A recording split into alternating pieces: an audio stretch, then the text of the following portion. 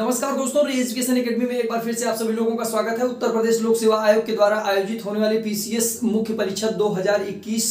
को टाल दिया गया है क्योंकि कोविड की स्थिति लगातार जो है बढ़ती हुई जा रही थी। तो ऐसी परिस्थिति में जो है, ये परीक्षा अब 28 जनवरी के बजाय जो है ये 23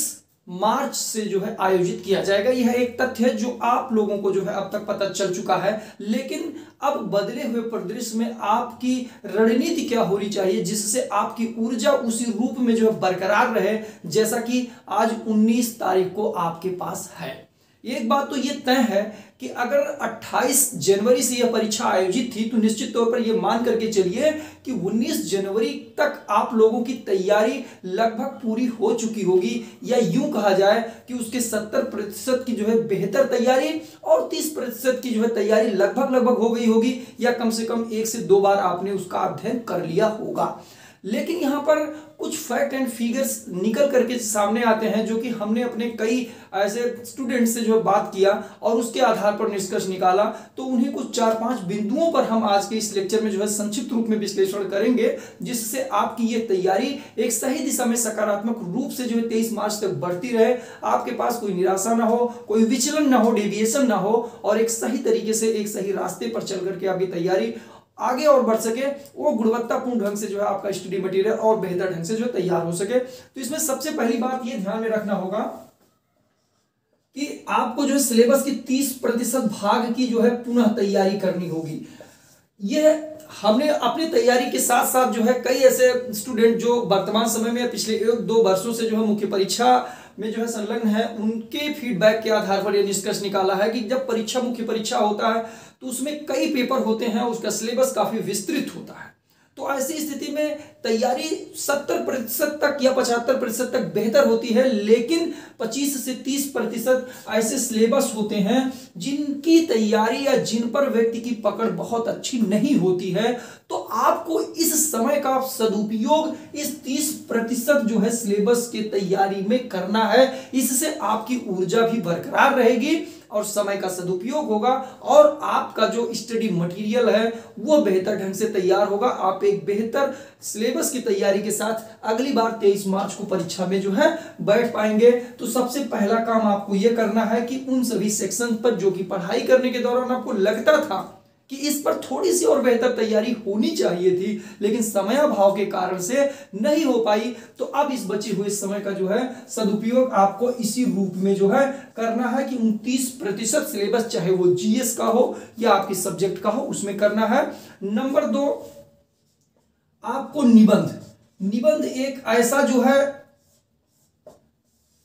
टॉपिक है, जिसकी बहुत ही व्यवस्थित तरीके से कभी तैयारी नहीं होती है या इस पर अलग से कक्षा कार्यक्रम भी आयोजित नहीं हो पाते हैं और इसको व्यक्ति बच्चे टाइम में या कभी नोट से या कभी किताबों से देख करके ही जो है तैयार करता है स्टूडेंट। तो आप इस बचे हुए समय में निबंध को जो है तैयार करने का प्रयास कीजिए, निबंध में अपनी पकड़ को मज़बूत करने का प्रयास कीजिए, निबंध मौलिकता के आधार पर किसी विषय पर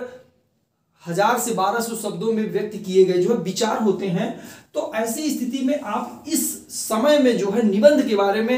एक दिन या दो दिन के अंतराल पर एक एक निबंध के बारे में आप सोच करके इस सेक्शन को बेहतर कर सकते हैं, क्योंकि निबंध एक ऐसा सेक्शन है जहाँ पर लोगों को 105 नंबर भी मिलते हैं और यहाँ पर पैंसठ नंबर भी मिलते हैं। यानी कि लगभग इसमें 40 नंबर तक के जो है वेरिएशन की संभावना रहती है। और आप सोचिए 40 नंबर बहुत बड़ा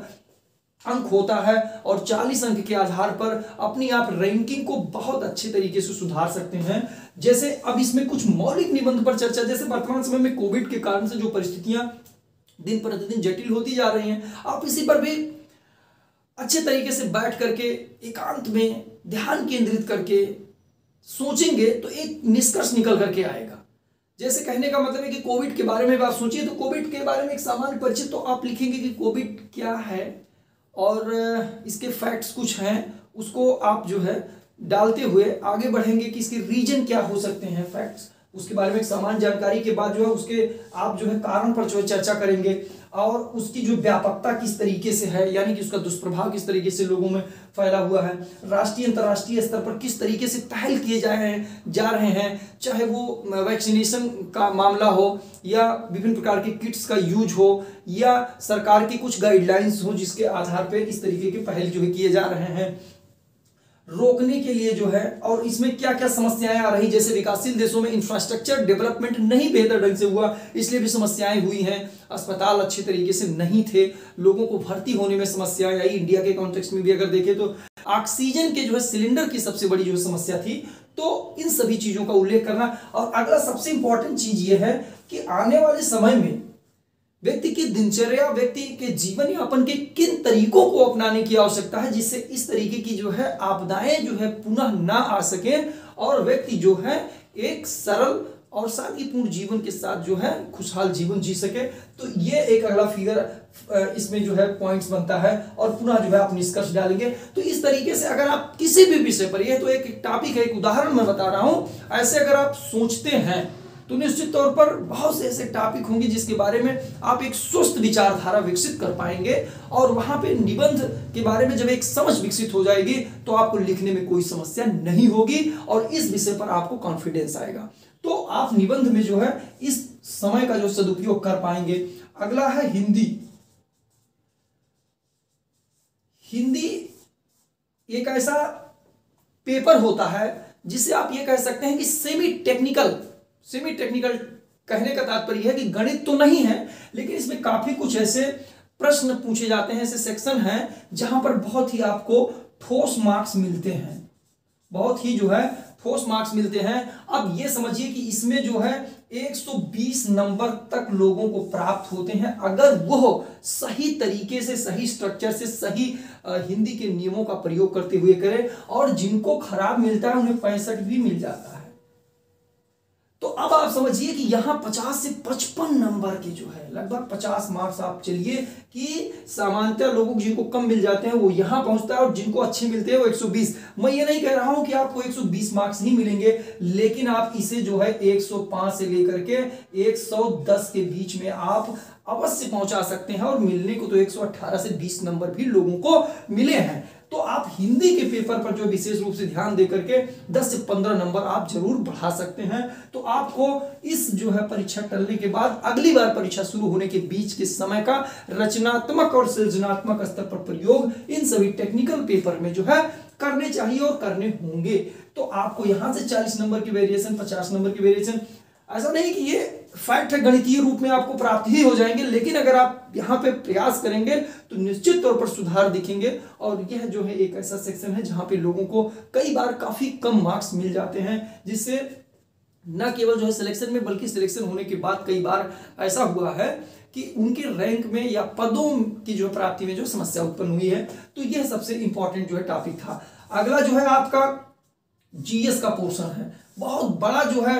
एरिया है, बहुत बड़ा जो है सेक्शन है जहाँ पे आपको जीएस के चार पेपर अध्ययन करना है। और इसकी,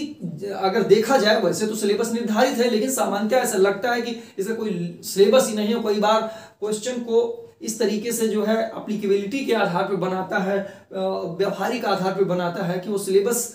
के अंतर्गत आता है, परंतु सिलेबस में लगता नहीं है। तो ऐसी स्थिति में इस पे भी थोड़ा सा जो है आप ध्यान केंद्रित करेंगे तो ये सेक्शन पर आपकी पकड़ मज़बूत होगी। क्योंकि सबसे ज़्यादा मार्क्स जो है आपको जीएस के ही पेपर से आते हैं और इसमें आपको जो है विभिन्न पूर्व में हुए प्रश्न पत्रों को आप लिखने का प्रयास कीजिए, केवल लिखने का प्रयास कीजिए और जब आप लिखेंगे, क्योंकि ये जीएस एक ऐसा जो है सेक्शन है जहाँ से बहुत नए किस्म के सवाल बन जाते हैं और जब नए किस्म के सवाल बनते हैं तो उस पर व्यक्ति कैसे लिख सकता है तो वहाँ पे अगर आप एक्सरसाइज और पूर्व के प्रश्न पत्रों को हल करेंगे तो इससे नए प्रकार के सवालों को किस तरीके से एक दबाव की स्थिति में चूँकि परीक्षा में दबाव भी होता है तो वहाँ किस तरीके से आप हल करते हैं और आ, हल करने का एक जो है तरीका आपको जो मिलेगा। जब आप व्यवहार अपने जो अध्ययन कक्ष में जो है इस तरीके से प्रैक्टिस कर चुके होंगे तभी आप यहाँ पे इस तरीके से जो है कर पाएँगे। तो निश्चित तौर पर जो है जीएस के पेपर में आप सिलेबस को पढ़ने के साथ साथ जो है एक्सरसाइज व्यवहार में कीजिए ताकि नए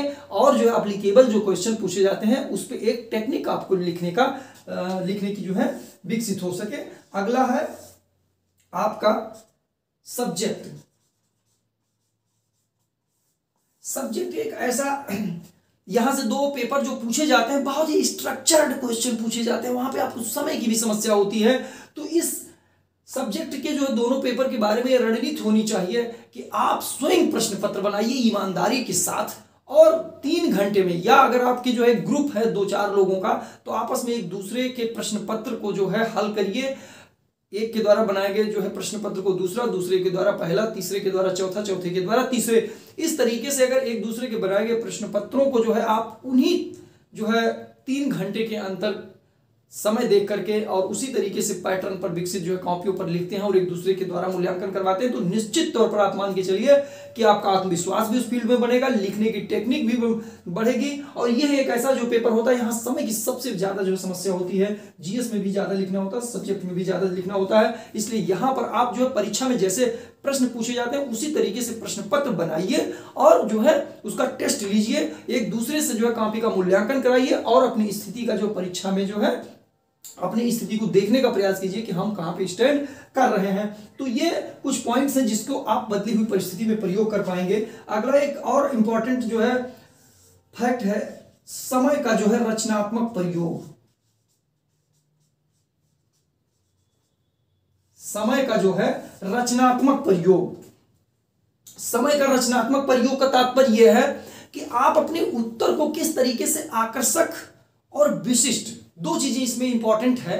कि आप अपने उत्तर को जो है अट्रैक्टिव एंड जो है स्पेशल कैसे बना पाएँगे, जिससे कि जो है एग्जामिनर अच्छे मार्क्स देने के लिए जो है विवश होता है। अब इसमें आप जो है कुछ अलग की चीज़ें, जैसे कुछ रिपोर्ट पर अपने ध्यान आकर्षित कर सकते हैं। क्योंकि जो आपके जीएस का पेपर है, उसमें सामाजिक समस्याएँ भी आ रही हैं, आपके जो है राजनीति के फ़ील्ड से आ रहे हैं इकोनॉमिक्स फ़ील्ड से तो यहाँ पर अलग अलग तरीके के नए नए आंकड़े आते हैं रिपोर्ट आती है, विभिन्न प्रकार के संगठनों के रिपोर्ट आते हैं तो इन सभी फ़ील्ड में भी कुछ काम कर सकते हैं। आप अपने उत्तर को आकर्षक बनाने के लिए कहीं पर जो है भाई चार्ट और जो है डायग्राम का भी सहारा ले सकते हैं, कि किस तरीके से आप अपने उत्तर को विशिष्ट बना सकते हैं अलग अलग जो भी सेक्शन है, उसके बारे में सोचिए कि हम कहाँ पे कुछ अलग चीज़ें डाल सकते हैं जिससे आपका उत्तर डिफरेंट हो सकता है। तो इन पॉइंट्स में भी आप सोच सकते हैं और इस तरीके से आपका जो बचा हुआ समय है, बहुत ज़्यादा समय नहीं है। क्योंकि अगर आप करना प्रारंभ करेंगे तो वो समय का सदुपयोग हो जाएगा और बैठकर अगर सोचने का ही केवल प्रयास करेंगे तो समय ज़्यादा लगेगा और वो समय का जो दुरुपयोग होगा।